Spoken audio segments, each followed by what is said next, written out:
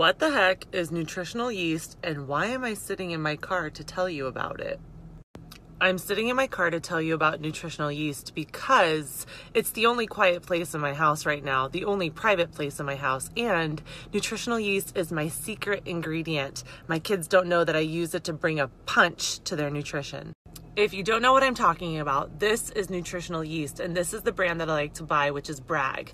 It tastes a lot like cheese, and I put it all over some of our dishes. I want to share with you the benefits and what I like to put it on. Nutritional yeast is packed with all of the good stuff, micronutrients that you want in your diet. I'm going to read off a few of the benefits. Preserves immune function, antiviral and antibacterial properties, improves digestion, vitamin B complex, among a million others.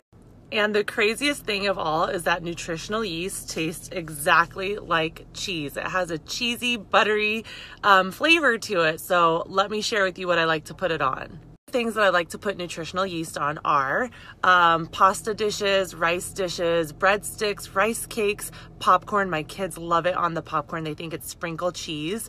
Um, and I also like to put it on my salads. It's really good. One of my vegan clients and friends shared this little um, cheesy hack with me. The macros are amazing. It is two grams of carbs and two grams of protein, zero fat for one tablespoon. So the macros are legit as well.